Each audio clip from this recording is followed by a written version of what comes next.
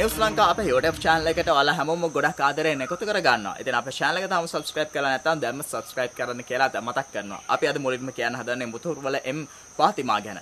ඉතින් පසුගියදා අපස උසස් පෙළ විභාගයේ ප්‍රතිඵල නිකුත් වෙච්ච බව ඔයාලා හැමෝම දන්නවානේ. ඉතින් මේ වෙද්දි සමත් අසමත් අය වගේම විශේෂ ප්‍රතිඵල ගත්ත අය ගැන මුළු රටම කතා වෙනවා. ඉතින් දුප්පත් වෙලා ඉපදෙච්ච ගොඩක් අයට ගොඩ යන්න තියෙන හොඳම අවස්ථාව තමයි අපස උසස් පෙළ විභාගය.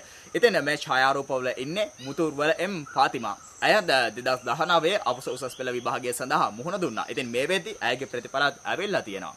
ඉතින් ඇය ජීව විද්‍යා අංශයෙන් ඉහළින්ම සමත් වෙලා. නිකන් නෙවෙයි ත්‍රිකුණාමල දිස්ත්‍රික්කයේ පළවෙනිය වෙලා. ඉතින් මේ වෙද්දි ඇයත් වෛද්‍ය පීඨයට සුදුස්සියක් වෙලා. ඉතින් පාතිමාගේ තාත්තා ඇයට උගන්වලා තියෙන්නේ ගඩොල් කපලා. ඒක තමයි විශේෂත්වය. මවටත් හරි හමන් රැකියාවක් නැහැ.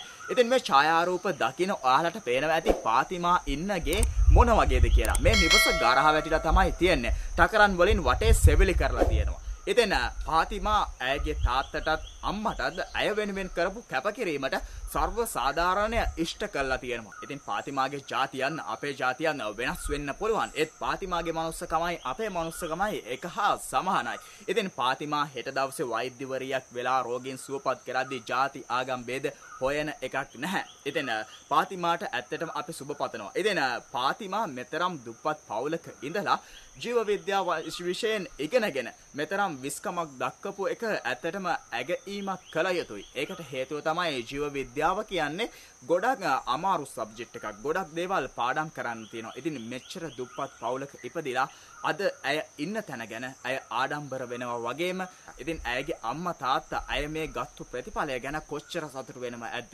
ඉතින් දුප්පත් පොසත් ભેදයක් නැහැ විභාගේ පාස් වෙන්න. මම කියන්නේ ඔයාලා මේ පාර අසමත් වුණා නම් ලබන පාර හොඳ ප්‍රතිඵලයක් ගන්න අද ඉඳන්ම මහන්සි වෙන්න. ඉතින් සමහරු නම් A level විභාගයේ එවර වෙච්ච දවසේ ඉඳන්ම A level විභාගය ලියපු දවසේ ඉඳන්ම ඊගාව විභාගයට මහන්සි වුණා. එයාගේ ප්‍රතිඵල අඩුයි කියලා එයාට දැනුණා.